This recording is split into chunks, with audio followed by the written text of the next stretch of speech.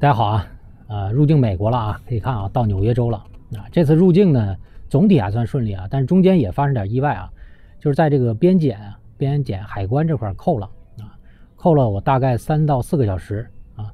中间护照被收走，然后有一个好像是国土安全部的啊，一个女士啊，长得挺漂亮的一个白人女性，跟我谈了半天啊，问了我一些问题。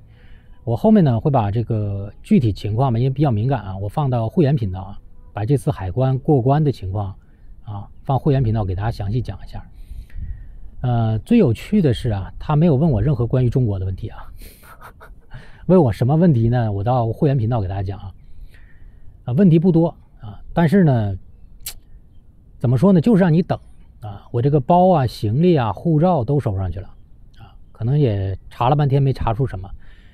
呃，指纹啊，指纹，指纹啊，十个指的指纹啊，一遍一遍的给我录啊啊。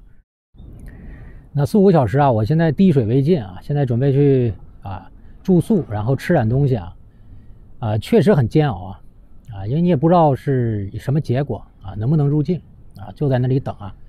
还好啊，最后呢交了六美元过境费，从加拿大到美国交六美元过境费。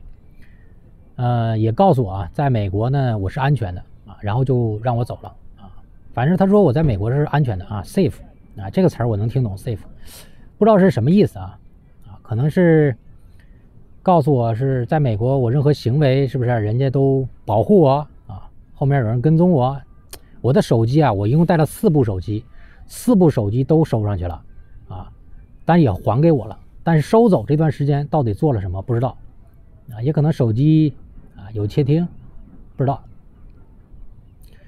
那这么可以给大家讲吧啊！我现在呢，在美国我是最安全的人啊，因为我现在到美国哪里啊，应该都可以实时给我定位啊，实时跟踪，甚至我现在给你做节目啊，在遥远的一个地方，哎，也在监听，都能听见啊。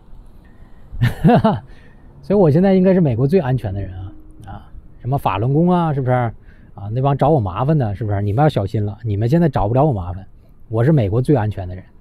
啊，你找我麻烦就是给美国啊找麻烦，就是给美国中央情报局找麻烦，给美国 FBI 找麻烦，美国国土安全局找麻烦啊啊！不多说了啊，我现在这个四五个小时啊，这个精神高度紧张啊。另外呢，也没有进食，也没有喝水啊，还是赶快找个地方住宿啊，住宿然后吃点东西啊，呃。我把这个详细的情况呢做成这个视频放到会员频道啊，因为这些东西太敏感啊，我觉得说出来，特别现在人在美国啊，你这东西说出来不太好，放到会员频道啊，跟大家分享一下。我把能说的给大家介绍一下。另外，他问我那几个问题啊，给大家介绍一下，很有趣啊啊，不多说了啊，现在准备去先住宿啊，纽约啊，现在离纽约也挺远啊，嗯，天也。太晚了，所以我觉得就在这附近找个地方住了啊。有最新的消息再跟大家汇报啊。